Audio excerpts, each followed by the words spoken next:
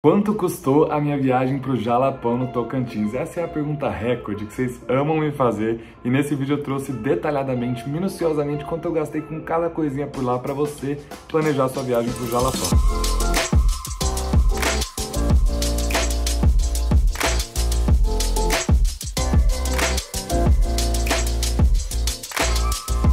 Fala galera, como vocês estão? Bem-vindos a mais um vídeo do César por aí. E no vídeo de hoje eu venho aqui feliz contar pra vocês quanto eu gastei no Jalapão, porque sim, era um sonho pra mim ir pra lá.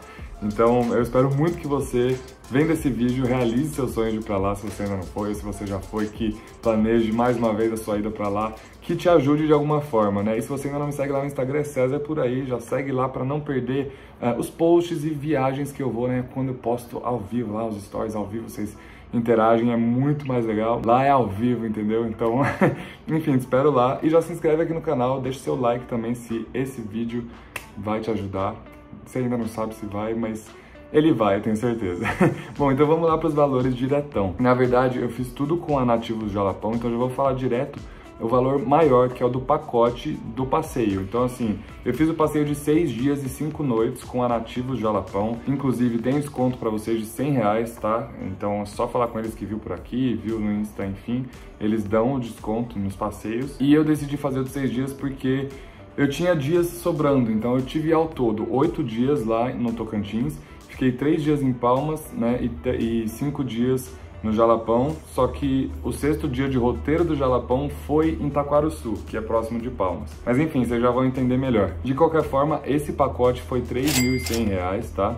O de seis dias. O de cinco dias seria 2.750, então tem aí uma diferencinha. Mas isso é o maior gasto por lá. Por quê? Porque nesse valor está incluso todos os passeios, Está incluso né, os, os, traslados de 4x4 para cidades, entre uma cidade e a outra, enfim. Eles te pegam no hotel e aí, a partir desse momento, tudo que você fizer com eles, você não paga nada.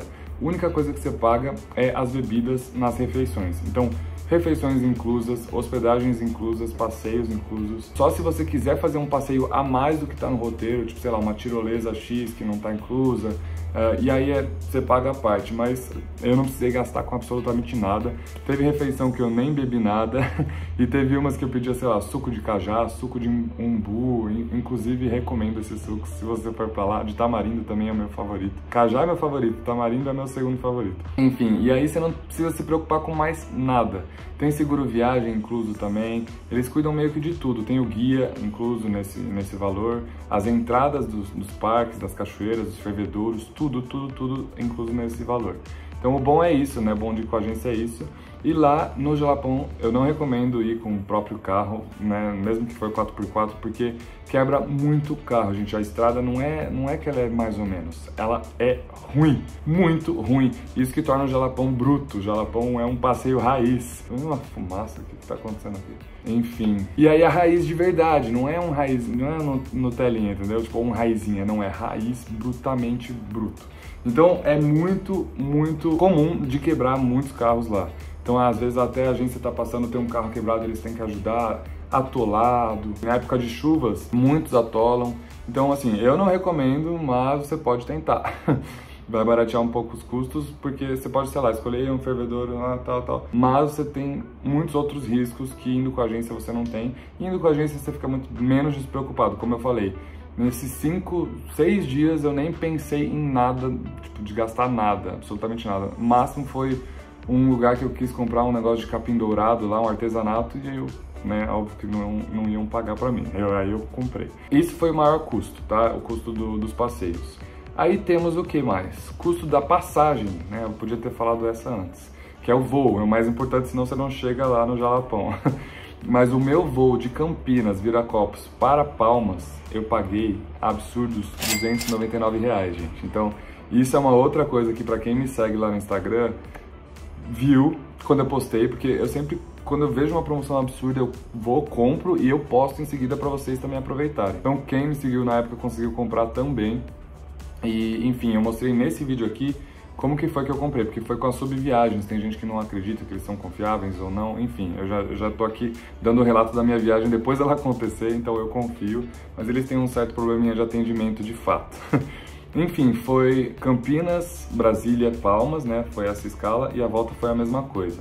Então foi um valor muito abaixo mesmo, mas você encontra ali passagens para Palmas por 500, 600 reais, esse é o mais normal, vai, 700.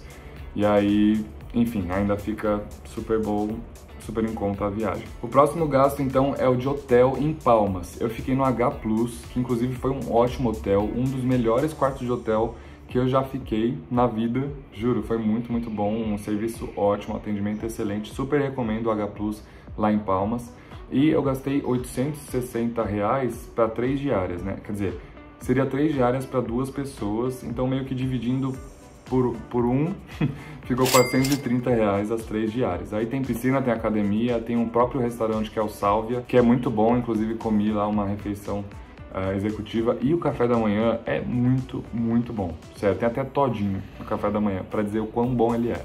bom, em Palmas eu também precisei comer, né? E eu fiz o City Tour. Então o City Tour eu fiz com a Palmas Tour. Tanto da Nativos quanto da Palmas Tour, tem, o Palmas Tour é 10% de desconto para vocês. Então eu vou deixar os dois aqui na descrição, os dois links.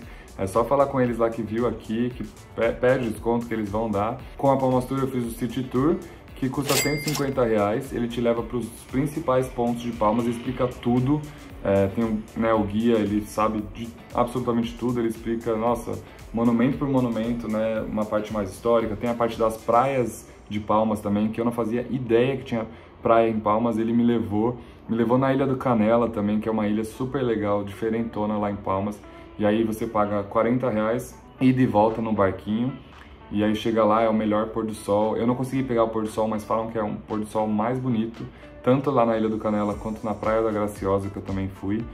É o mais bonito do Tocantins. Então, se você tiver a sorte de pegar um pôr do sol por lá, fica a dica aí também. E foi 150 desse City Tour e 60 do traslado até o aeroporto, né? Eles têm um traslado lá 24 horas e você também tem desconto nesse traslado, ou seja, tudo com a Palmas Tour e com a Nativos vocês têm desconto por estar tá vendo esse vídeo.